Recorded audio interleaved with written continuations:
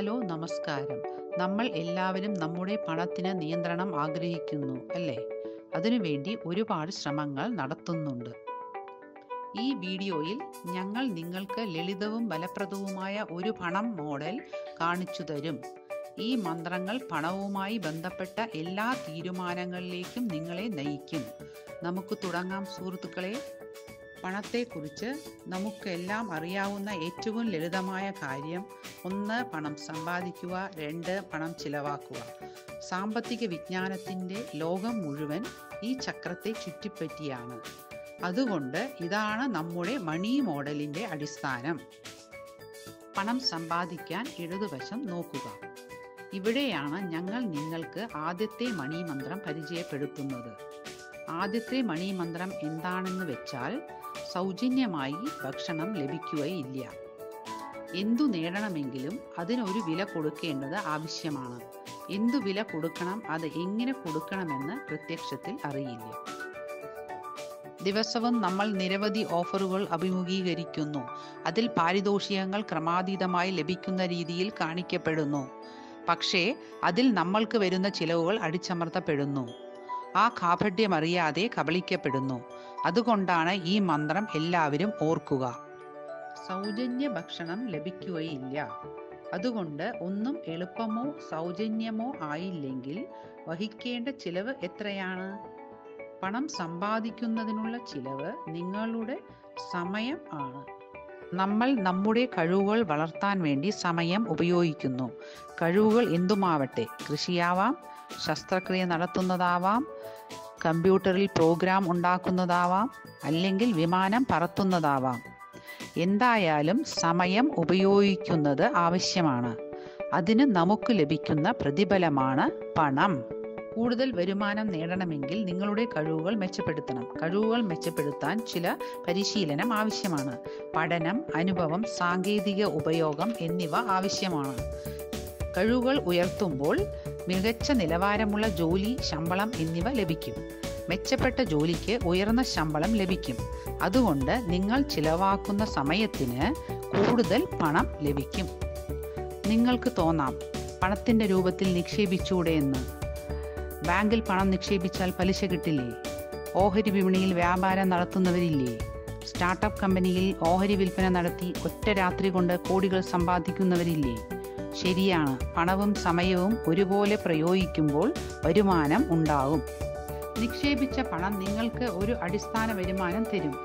പക്ഷേ ഈ വരുമാനം വർദ്ധിപ്പിക്കാൻ നിങ്ങൾ ആഗ്രഹിക്കുന്നുവെങ്കിൽ അതിലുള്ള അപകട സാധ്യതയും മുന്നിൽ കാണണം. എന്താണ് ഈ അപകട സാധ്യത എന്നല്ലേ? ഇവിടെയാണ് രണ്ടാമത്തെ മണി മന്ത്രത്തിന്റെ ഉപയോഗം വരുന്നത്. ഉയർന്ന വരുമാനം എന്ന് വെച്ചാൽ അതിന്റെ അപകട സാധ്യതയും ഉയർന്നതാണ്. നിങ്ങൾ പണം നിക്ഷേപിക്കുമ്പോൾ അതിൽ എപ്പോഴും ഒരു അപകടം ഒളിഞ്ഞു കിടപ്പുണ്ട്.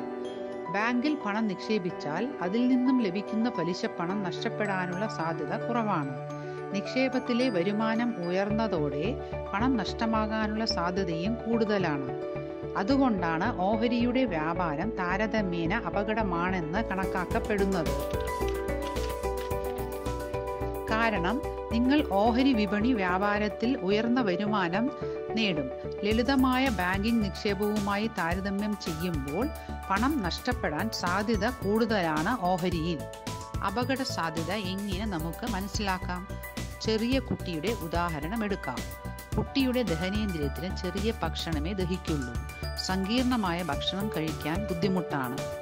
കുട്ടിയുടെ ദഹനശക്തി കൂടുമ്പോൾ സങ്കീർണമായ ഭക്ഷണങ്ങളും ദഹിക്കാൻ പറ്റും. അതുപോലെ ഒരു നിക്ഷേപം നടത്തുമ്പോൾ അതിൽ വരുന്ന എല്ലാ അപകട സാധ്യതകളും മുൻകൂട്ടി മനസ്സിലാക്കാൻ കഴിഞ്ഞാൽ ആത്മവിശ്വാസത്തോടുകൂടി മുന്നോട്ട് പോവാൻ പ്രാപ്തരാകും. ഇതുവരെ കണ്ടത് മണി മോഡലിന്റെ ഇടതുവശം അതായത് പണം സമ്പാദിക്കൽ. ഇനി മണി മോഡലിന്റെ വലതുവശം അതായത് ചിലവാക്കൽ. നിങ്ങൾക്ക് ഉടമസ്ഥാവകാശം ഉള്ള പണം നിങ്ങൾക്ക് ചിലവാക്കാം. ഉടമസ്ഥാവകാശം ഇല്ലാത്ത പണം നിങ്ങൾ എങ്ങനെ ചിലവാക്കും? അത് ശരിയാണോ? ക്രെഡിറ്റ് കാർഡ് ഉപയോഗിച്ച് നിങ്ങൾ എന്തെങ്കിലും വാങ്ങുമ്പോൾ സാങ്കേതികമായി നിങ്ങൾക്ക് ഉടമസ്ഥാവകാശം ഇല്ലാത്ത പണമാണ് നിങ്ങൾ ഉപയോഗിക്കുന്നത്. അതുപോലെ ക്യാഷ് ക്രെഡിറ്റ് ബാങ്ക് അക്കൗണ്ടുകൾ അല്ലെങ്കിൽ ബാങ്കുകളുമായുള്ള ഓവർഡ്രാഫ്റ്റ് സൗകര്യം അല്ലെങ്കിൽ വിവിധ തരത്തിലുള്ള വായ്പകൾ ഇതെല്ലാം നിങ്ങളുടേതല്ലാത്ത പണം ആണ്. ആ പണം തിരിച്ചടിക്കാനുള്ള ബാധ്യത നിങ്ങൾക്കുണ്ട്.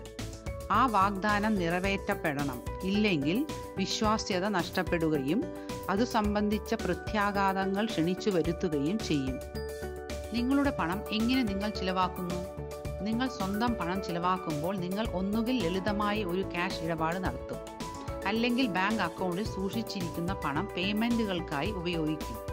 അല്ലെങ്കിൽ ചെക്ക് കൊടുക്കും. അല്ലെങ്കിൽ ഡെബിറ്റ് കാർഡ് സ്വൈപ്പ് ചെയ്യും. അതും അല്ലെങ്കിൽ നെറ്റ് ബാങ്കിംഗ് വഴി പണം കൈമാറും. ഏകീകൃത പേയ്മെന്റ് ഇന്റർഫേസ് അഥവാ യു പി ഐ വഴി നിങ്ങൾക്ക് സ്മാർട്ട് ഫോൺ മാത്രം ഉപയോഗിച്ച് മിനിറ്റുകൾക്കകം രണ്ട് വ്യക്തികൾ തമ്മിൽ പണം കൈമാറാൻ യു പി ഐ പ്രാവർത്തികമാക്കുന്നു. ഇത്തരം സംഭവ വികാസങ്ങളിലൂടെ പേയ്മെന്റ് കൈമാറ്റം നടത്താൻ പറ്റും. ഈ വാലറ്റ് എന്നുള്ളത് മറ്റൊരു പേയ്മെന്റ് രീതിയാണ്. നമ്മൾ ഷോപ്പിങ്ങിന് പോയി ക്യാഷ് കൊടുത്ത് സാധനം വാങ്ങുന്ന പോലെ ഈ വാലറ്റുകൾ നിങ്ങളുടെ ക്യാഷ് സൂക്ഷിക്കുന്ന ഇടമാണ്. നിങ്ങളുടെ ബാങ്ക് അക്കൗണ്ടിൽ നിന്ന് ക്രെഡിറ്റ് കാർഡ് വഴി പണം ഈ വാലറ്റിലേക്ക് കൈമാറ്റം ചെയ്യാവുന്നതാണ്. ഈ വാലറ്റിലെ പണം നമ്മൾക്ക് ഡിജിറ്റൽ പർച്ചേസുകൾക്കായി ഉപയോഗിക്കാവുന്നതാണ്. ഡിജിറ്റൽ പാസ്വേഡ് ഉപയോഗിച്ച് ഡിജിറ്റൽ പർച്ചേസുകൾ വേഗത്തിലും സുരക്ഷിതവും സൗകര്യപ്രദവുമായും നടത്താവുന്നതാണ്. ഇനി നമ്മൾക്ക് മൂന്നാമത്തേതും അവസാനത്തേതുമായ മണിമന്ത്രത്തിലേക്ക് കടക്കാം. മൂന്നാമത്തെ മണിമന്ത്രം എന്താണെന്ന് വെച്ചാൽ രഹസ്യ കോഡ് സൂക്ഷിക്കുക. രഹസ്യ കോഡ് നിങ്ങളുടെ കലവറയിലെ താക്കോലിന് തുല്യമാണ്. നിങ്ങളുടെ എല്ലാ സമ്പത്തും നിലവറയിൽ സൂക്ഷിച്ചിരിക്കുന്നുവെന്ന് സങ്കല്പിക്കുക അപ്പോൾ എങ്ങനെയാണ് നിങ്ങൾ താക്കോൽ സംരക്ഷിക്കാൻ പോകുന്നത്? അത് നിങ്ങൾ ചോദിക്കുന്നവർക്ക് കൊടുക്കുമോ? ഡിജിറ്റലൈസേഷന്റെ പുരോഗതിയിൽ നിങ്ങൾക്ക് ഒരു വെല്ലുവിളി നേരിടേണ്ടി വന്നേക്കാം. ചൂഷണം ചെയ്യപ്പെടാൻ എളുപ്പമാണ്. അത് സംഭവിക്കാൻ അനുവദിക്കരുത്. A T M net banking phone banking എന്നിവയിൽ വൺ ടൈം പാസ്വേഡ് അഥവാ ഒ ടി പിയിൽ ലഭിക്കുന്ന രഹസ്യ കോഡ് അല്ലെങ്കിൽ രഹസ്യ പിൻ എന്നിവയെല്ലാം വ്യത്യസ്തങ്ങളാണ്.